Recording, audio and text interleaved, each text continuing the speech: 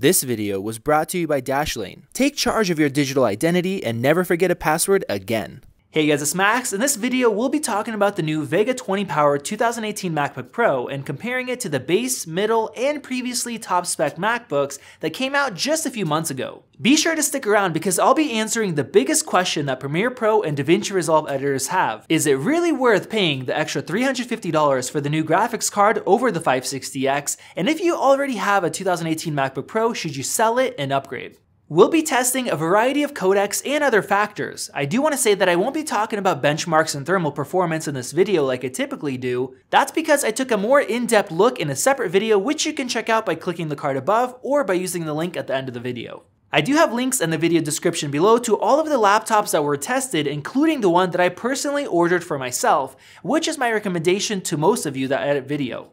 I'm also planning to make a few more comparisons with this new Vega 20, maybe to the 5K iMac, the iMac Pro, and a couple other machines. Make sure you guys are subscribed and have those notifications enabled if you guys want to see that. And if you have a suggestion to what I should compare it to, let me know in the comment section below. Starting off stabilizing a 20 second 4K clip, we don't really see any performance improvements in Premiere Pro since the graphics card and CPU is barely used, unlike Resolve, which maxes out the GPU and gets the task done in 18 seconds, 55% faster than the previous top-of-the-line MacBook Pro.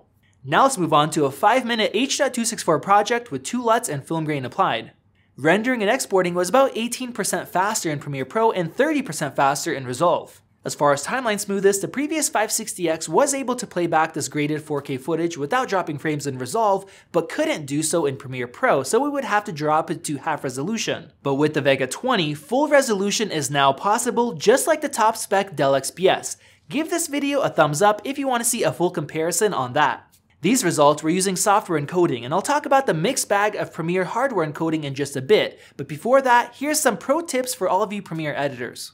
Set your editing preferences to metal, but use OpenCL when exporting. This has changed over the years depending on the hardware and the software that you're using, but with these new MacBooks in version 13 of Premiere, it's split with faster rendering using OpenCL and smoother timeline performance using metal. Now, if you have an older MacBook, I would suggest doing some tests for yourself, and if you use Resolve, just keep it on auto. Now let's move on to 8-bit H.265 where unfortunately I don't have old numbers for the other MacBooks with Resolve because I couldn't use this codec, but with the newest updates and the hardware encoding and decoding, the performance is fantastic. Based on my other Resolve tests, I would guesstimate about 30% better performance than the 560X. In Premiere, we see 40% faster performance using software encoding, which is fantastic. I'm glad that we can finally use QuickSync with Premiere, which has been around for a few years with Resolve and at least 5 years in Final Cut, but it is very frustrating how limited our hardware encoding options are. Supported resolutions are limited, so you can't use true 4K like from the C200 or other custom resolutions like 4.5K for Red, and along with that, the bitrate and even frame rate options are limited. Final Cut and Resolve, which are both one-time purchases, don't have these large limitations. And if you're using hardware encoding, it's hit or miss. With our H.264 timeline, it was actually slower, but with HEVC, it was a lot faster. I took the C200's true 4K 60 and cropped it to fit UHD, and then dropped the FPS down to 30 to take advantage of hardware encoding, and the export was nearly twice as fast, so the results seemed worth it. But then exporting the same limited project using software resulted in practically the same time. I would suggest testing to find what works best for your projects and hopefully Adobe can add more hardware encoding options in the future. Before we move on to the difficult codecs like 10-bit HEVC and RAW video, I want to tell you about our sponsor, something everybody should be using, and that's Dashlane. I'm a second year paying customer and I actually like Dashlane so much that I reached out to them about sponsoring the channel. If you're like me, you probably reuse the same password for the sake of convenience, but what happens when it's compromised and you have over 200 accounts at stake, including banking? Let's just say that I was sweating bullets. Dashlane made it much faster to secure my accounts and now stores all passwords, personal info, payments, and much more. It can even automatically change passwords and even search your email to find accounts that you forgot about, which was a lifesaver. Their apps and plugins are fantastic and will automatically sign you in, generate passwords, fill payments and personal information, and it can even search the dark web for your private data, which is great after the recent Facebook data breach. Don't make the same mistake that I did and make your online life much more secure, quicker, and easier with a free Dashlane account by using the link in the video description. And when you decide to upgrade, you'll get 10% off by using the coupon code MAXY.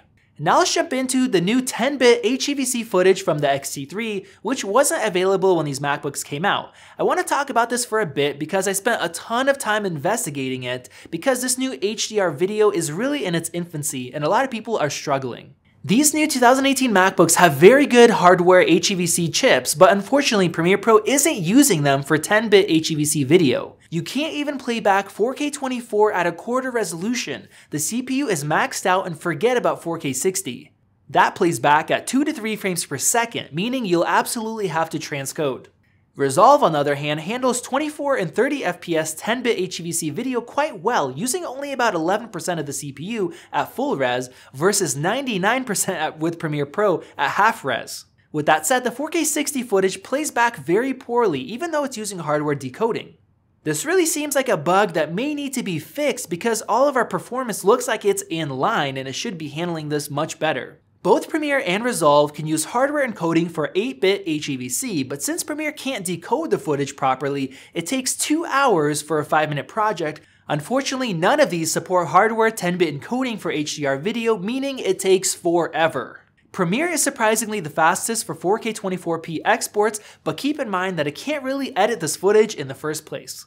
I spent a ridiculous amount of time researching and testing this out and trying to find a good solution, but it seems like until we get hardware 10-bit encoding, we'll either have to deal with large render times or huge upload sizes using ProRes or DNxHR. As far as editing 10-bit HEVC, all of the 2018s had the necessary hardware. In Final Cut, even the base model will do a good job because of its efficiency. DaVinci Resolve does do a good job up to 30 FPS, but I would highly recommend the Vega 20 model since the GPU usage is almost maxed out, meaning the performance with the lower end graphics will suffer. In Premiere Pro, the editing experience is horrible either way, so I can't really say if Vega 20 helps at all. Moving on to Canon Cinema Raw Light, which as I always say isn't light at all on your system, the Vega 20 model was 20% faster, which is crazy since the other three models performed basically the same. I'm not sure why, but my only guess is that the newer Vega 20 architecture is more efficient with this codec, since we can now play back the footage at half resolution, which the 560 model couldn't do. Now this is a huge deal if you edit footage from the C200 because now you can edit graded raw footage on this laptop. If you couldn't do that before, had to transcode, that is a huge improvement. So I would say if you're editing C200 footage, wow, absolutely you need the Vega 20. Now Resolve also had a massive improvement, about 60% faster, and instead of playing back at 27 frames per second, meaning you couldn't handle 4K 30, it now plays back at 34 frames per second at full resolution. Unfortunately, 4K 60 is still very glitchy like with the 10-bit HEVC, which leads me to believe that it might just be a bug with 60p footage in Resolve since Final Cut actually plays back at 32 frames per second, but the playback of 60p is much smoother. Now on to our last video editing test, 4.5K Red Raw. We see about 55% faster results in both Resolve and Premiere Pro. That is a significant improvement. How are we getting this much of a gain? Well, not only is the graphics card more powerful, but it also puts out less heat. Because of this, at the end of our render, instead of the CPU running at about 2.4 GHz, because the cooling system can't handle all of the heat of the processor and the graphics being maxed out, it ran at 2.9 GHz. That's 500 megahertz faster, and of course the GPU is faster as well. In DaVinci Resolve, this graded footage will play back at 24p in a UHD timeline with half-res red decoding, and in the full 4.5K resolution it could almost do it, but requires a quarter-res decoding. Premiere handles it a bit better actually, and it could play back mostly at half res, but you could drop it to a quarter just to be safe, and the footage looks pretty good. So now let's answer the biggest question. Is it worth paying extra for the Vega 20 GPU? And for those who already bought a spec'd out 2018 MacBook, should you take a big hit and upgrade? First off, if you're not pushing your machine to the limits and you're happy with the performance, then of course not. It definitely sucks if you just bought a top of the line machine, but if it works well for you, just stick with it. I'll also add in that I don't think the Vega 16 is worth buying for the asking price when the best version is only $100 more. Now for those of you that push your machines hard like I do, there is very impressive performance improvements to be gained with the Vega 20.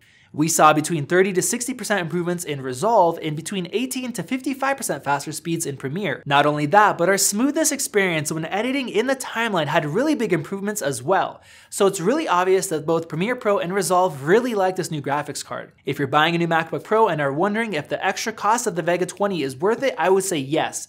If you're serious about 4K video editing, absolutely. You're basically spending between 5 to 13% more money depending on the other components that you choose for 18 to 60% video editing performance. And if by chance you game on your MacBook, we saw up to 85% better performance compared to the previous 560X, which you can check out by using the link in the description, where I also have links to the MacBooks that we tested, including the exact MacBook Pro that I just ordered for myself.